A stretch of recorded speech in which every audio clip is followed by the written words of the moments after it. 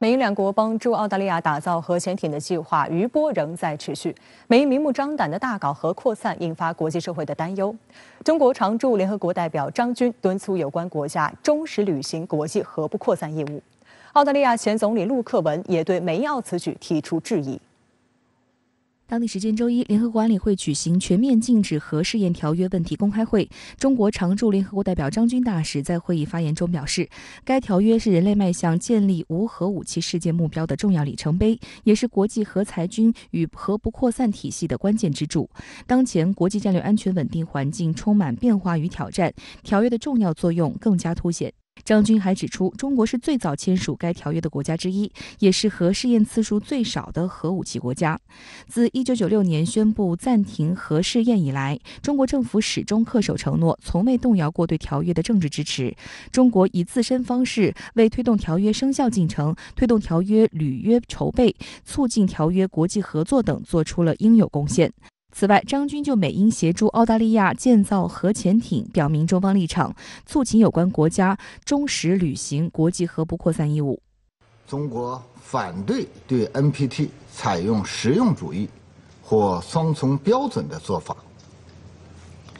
个别核武器国家不能一方面高喊致力于维护国际核不扩散体系，另一方面却协助无核武器国家。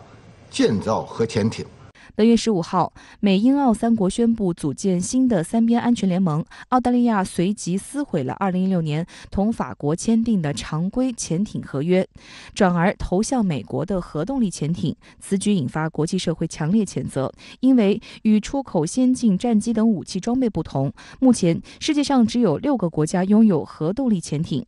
美英向澳大利亚转让核潜艇关键技术，就是在破坏亚太地区的安全稳定，势必引发一。系列核军备竞赛。事实上，长期以来，澳大利亚紧紧跟随美国在全球展开军事行动，也从中捞到了不少好处。二零二零年，澳大利亚国防战略发生大转向，预计将在未来十年内投入超过一千四百五十亿美元用于军事研发和武器装备采购，且武器装备进攻性十分明显。值得一提的是，除了核潜艇外，澳大利亚还计划要从美国购买巡航导弹。美英澳核潜艇合作损害南太无核区条约，使南太平洋地区再次笼罩在核扩散的阴霾下，理所当然会受到地区国家乃至国际社会的关切和质疑。美英澳三国应该摒弃过时的冷战思维，本着负责任的态度，撤销有关错误决定。美英协助澳大利亚打造核潜艇的计划持续引发国际关注。澳大利亚前总理陆克文日前接受德国《明镜周刊》采访时，对美英澳组建新的印太安全联盟这一战略逻辑表达了质疑。陆克文指出，澳大利亚没有本国的民用核工业，如果新的潜艇需要由美国来维护，那么这支潜艇编队难道要成为美国海军的一部分？澳大利亚海军还是一支战略自主的军队吗？美国投入了很大的资源，来将澳大利亚绑定在它的这个安全战车上面，把它打造成一个，呃，前台的一个打手，消除了澳大利亚它在中美之间这种灵活啊、游走、骑墙的这种空间。那么呢，他认为这个战略收益呢，他得到了。有分析称，近年来，在美国怂恿下，澳大利亚被推到了中美竞争的中心位置。种种动作都明确表明，澳大利亚将会给亚太地区安全增添大量的不稳定因素。而在美英两国的有意煽动下，澳大利亚自信心愈发爆棚，也越来越脱离现实，不切实际。长此以往，只会自讨苦吃。《纽约时报》的文章指出，美英澳建立新的三边安全伙伴关系，实际上意味着澳大利亚把全部赌注压在与美国联盟的未来。上，澳大利亚似乎认定美国将长期参与亚洲事务，并准备在必要时打压中国，但事实并非如此。文章认为，澳大利亚压住美国的做法非常冒险。首先，在没有生死攸关的利害关系情况下，美国未必致力于与中国展开一场新的冷战式较量。另外，美国拥有得天独厚的地理位置、庞大的经济、无与伦比的军事力量以及核武器库，这些都有助于维护它自身的安全。而澳大利亚必须做好独。独自确保自身安全的准备。最近两天呢，我们注意到澳大利亚前总理基廷他发表了一篇文章，他说莫里森政权的这个举动实际上是把澳大利亚拱手让给了美国。为什么这么说呢？是因为中国实际上对澳大利亚不构成任何的军事威胁。但是呢，现在澳大利亚却因为某些意识形态的狂热，因为他的一些不明智的举动，把自己绑定在了美国人的战车上面。那么今后呢，他只能服从于美国人的战略需要。已经失去了他所有的这种战略自主性。周一，澳大利亚总理莫里森在接受采访时称，澳方对澳中两国在政治层面上进行直接对话没有障碍，但中方没有表现出对这一机会的兴趣。同时，澳大利亚媒体评论认为，中美之间的转圜余地足够大。近年来，澳以所谓民主原则为由打光了所有子弹，澳大利亚可能会被置于对华无牌可打的尴尬局面。对此，在周二外交部例行记者会上，发言人华春莹回应称，澳方究竟是真的有诚意来改善和发展对华关系，还是表面说一套，背后做一套，甚至明目张胆的捅刀子？中方是有自己判断的。当前中澳关系的困难局面是澳方一手造成的，不是中方希望看到的。澳方对此呢也心知肚明。当务之急是澳方要正视两国关系受挫的症结，认真的思考他到底想把中国作为伙伴。还是威胁。澳大利亚需要修复的还包括与法国之间的双边关系。因单方面撕毁与法国达成的常规潜艇的订单，澳大利亚背信弃义的行为彻底惹怒了法方。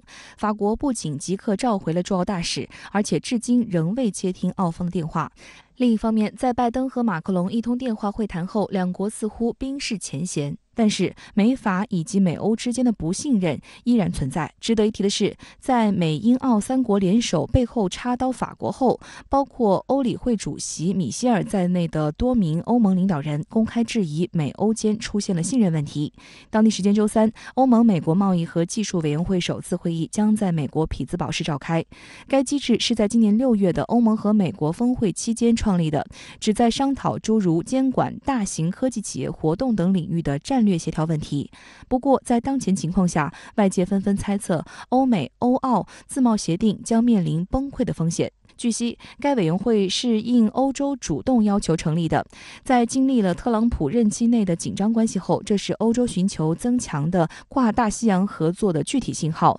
据法新社报道，巴黎对匹兹堡会议准备的共同宣言草稿不满意，打算做出一些修改。欧洲国家，特别是西欧的主要国家，它对于战略自主的一种重视，也是在当前美欧这种很微妙的关系的这种背景下，欧洲它想主动做出一些改变。在有些特定的领域，比如说 WTO 改革，包括一些技术、呃数据安全等方面，它可能有一些、有些它有有这些领域有它自己的发展逻辑，可能暂时不会受到美欧关系的影响。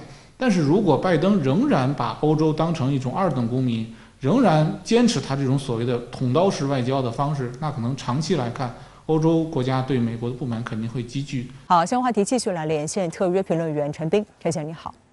澳大利亚总理莫里森抱怨，中国领导人已经近两年不接他的电话了，给法国总统打电话也不理。那您怎么看这一现象呢？澳大利亚总理也是自己干的好事自己不承担，还怨中法领导人不接电话。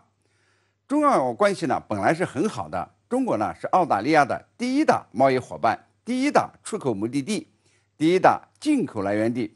截止到今年七月的前十二个月内呢，澳大利亚对中国出口额呢是创了纪录的一千二百七十亿美元，那么占澳大利亚出口总额的百分之三十五以上。但是呢，澳大利亚是怎么对待第一大贸易伙伴的？为了所谓的民主原则，首先呢排斥。